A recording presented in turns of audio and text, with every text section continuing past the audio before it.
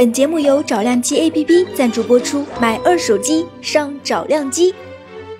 一般情况下，利用太阳能发电都需要电池板来直接或者间接的把太阳光转化成电能。但是有这样一种东西是不需要安装电池板的，而且还功能多多。它是一种玻璃砖，由英国艾克塞特大学的专家们研发的。没错，是块透明的砖头。它不只能盖房子，还能发电、照明和隔热保温。不管是炎热的夏季还是寒冷的冬季，都不用再怕了。这种玻璃砖简直颠覆我对砖。头的认知，以后搬砖都要小心了。这砖头采用了新技术，能将太阳能转化成电能，在传统建筑中实现零能耗，还能将电能输入至电网，用来给手机、电车等充电。所以说，这种玻璃砖不仅是建筑工人非常喜欢的，也是用户所喜欢的。用它来建房子，还为以后用电省了不少钱。与传统玻璃砖相比，这种玻璃砖还会变色，与各种彩色滤光片配合使用的话，可以转化成红。色、蓝色等多种颜色。据研究团队介绍，他们正在寻找合作伙伴，预计不久就可以投入市场。小编也替广大用户们问一句：什么时候才到国内呢？